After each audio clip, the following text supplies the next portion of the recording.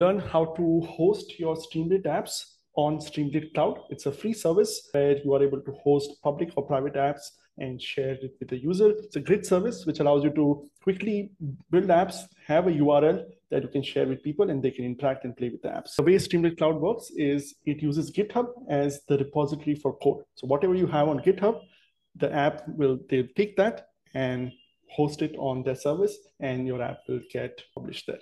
So the first step we want to do is we want to upload the app to GitHub. The app that we want to host is this app we call Route Finder. We already built the app. We'll go through the process of how, how you can deploy that. The app takes two origin and destinations, selects the travel mode, and you can get directions. Pretty useful app. This using this is Open Route Service API. We are in our app, if you see the app.py, we have the API key inside the app. And if you upload the file to GitHub, everybody who can see the GitHub file can see your API key. It's a bad idea to put your API keys in the public. There are spammers who would take that and you know use your resources. Also, if you share it even within your, within your organization, sharing API keys openly is a bad idea. So we learn how to hide those API keys in your app. Plus, we are, let's say in our app, we are using some component, we are using Streamlit Folium or we are using a library called GeoPy, or if you want GeoPandas. How do I install all of this? In a local environment, we can just say, you know, conda install or pip install, and everything installs. How do I install stuff on the environment that Streamlit is going to run? So we're going to need to learn about two extra things. First, how to add your dependencies to the app and how to hide the secrets. And once we do this, we'll go through the publishing workflow. Let's see the app that we have hosted. This is a repository for this class. The app that we want to host is here on the Streamlit directory. We have all the code for all the apps available here in case you want to check it out.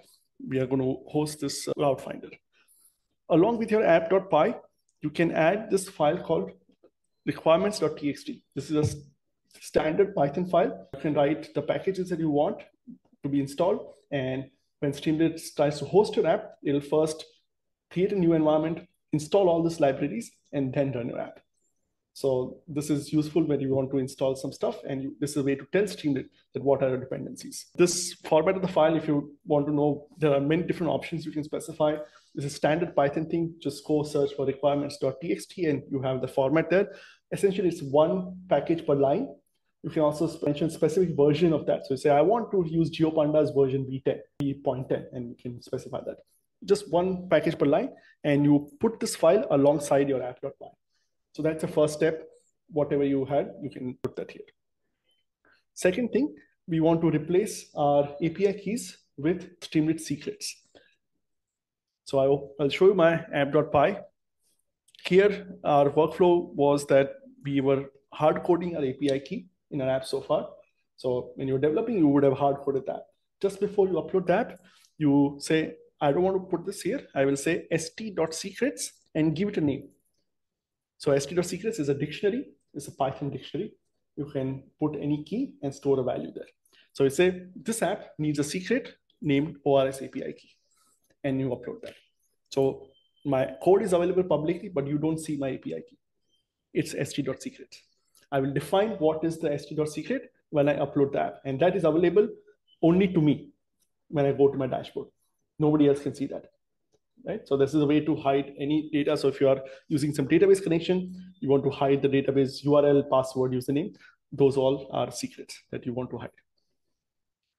So two things, we added requirements.txt. We had our API key that we replaced with the secrets. And now we are ready to upload our app we need to go to this website, share.streamlit.io.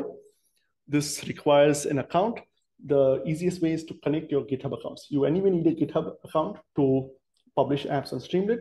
So once you have, you know, created your GitHub GitHub account, uh, uploaded your files there, you come to share.streamlit, connect your GitHub account, and you have your account here you can have in a repository, this is called a repository. Inside a repository, you can have multiple folders with multiple apps. You just need one app per folder. So don't mix folders for different apps, but you can have different apps for different folders in the same repository. All you need to do is you need to find the URL to app.py. So I have this URL, and this indicates this indicates the location where my app.py is. It says what's the repository, what's the app.py, and so on. To host any app, you need admin access to the repository. So it should be your repository. So if you try this with my repository, it'll fail. Right? So don't do this. I'll show you how to do this, copy this and do this in your own account. So we copy the URL to app.py. We come here and we say, I want to create an app. So when you go to share.streamlit.io, you'll create a dashboard. The first time you do this, it'll be empty, but we can create app. It's going to ask you, do you already have an app or you want to create one from template? This allows you to edit the data in the cloud versus you editing locally, but we already have an app, we built it. So we click here. It says, give me the URL. Once I have pasted my app.py location, it allows me to pick the app name. It assigns some random name to this. So my app will be hosted at this subdomain.streamlit.app. I can change it. I can just do something like this, my first app.streamlit.com. It has to be unique across this thing. So whatever name you want to choose, you can choose this. Once it's done, don't hit deploy yet. If you deploy it, our app will fail. We don't have not defined what is our secret. So we come here to the advanced settings and it says we have two configuration options. Which Python version you want to use? If your code depends on a specific Python version, you can choose that. And here we have our secrets. So this is where we will define our secret and the secret will be in the following way.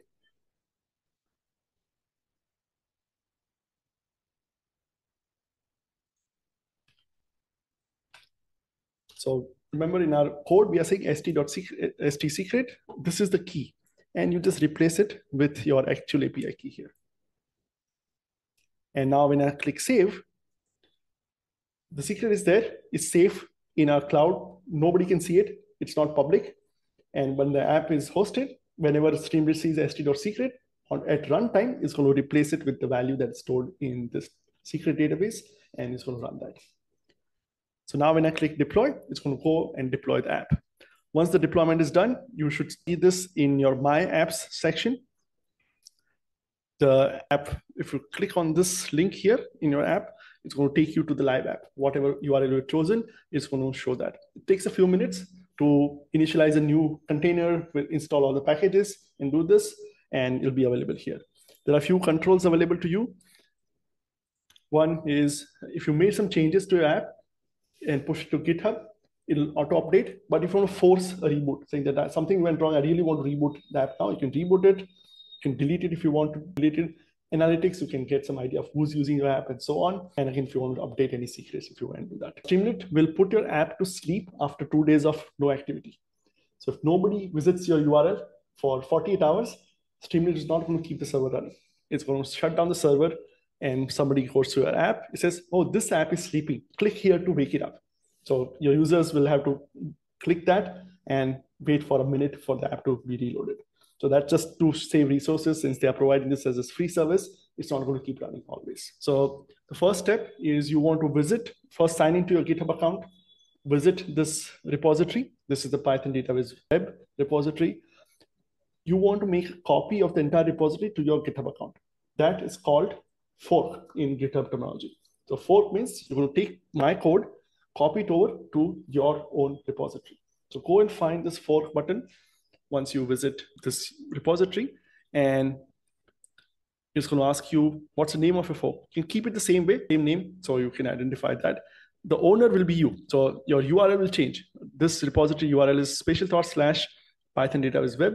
Once you copy it and fork it to your own account, it'll be your username slash Python dataviz web, and you'll have admin access to that repository. So try this out first, visit this repository and click the fork button that's at the top, and then keep the name the same and click create fork.